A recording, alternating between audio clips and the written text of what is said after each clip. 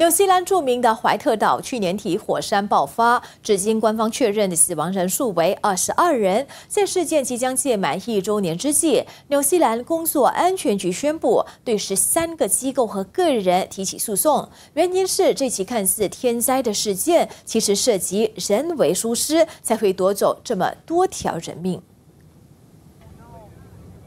滚滚灰尘直冲天际，这是纽西兰怀特岛火山去年十二月九号突然爆发的可怕场景。虽然是天灾一场，但当局认定这起夺走二十二条人命的事件当中涉及人为疏失。纽西兰工作安全局经过调查后，确定对十三个单位提告，原因是当局认为这些涉及的机构和个人没有竭尽所能履行职务，并做足一切措施来保障员工或游客的安全。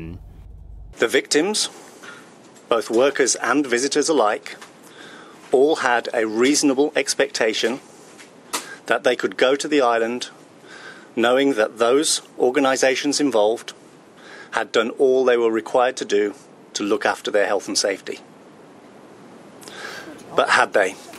根据了解，面临刑事起诉的十三方包括政府机构、直升机公司和旅游公司等。地质科研所和国家紧急事务管理局已经坦诚接到起诉通知。总理阿登恩受询时形容这将是艰难的过程，但他强调必须尊重这项独立调查结果。It is an independent decision for them as to where and whom charges will be laid with. Um, really, we need to leave it at that. We need this to be an independent process that people can have trust, confidence, and faith in.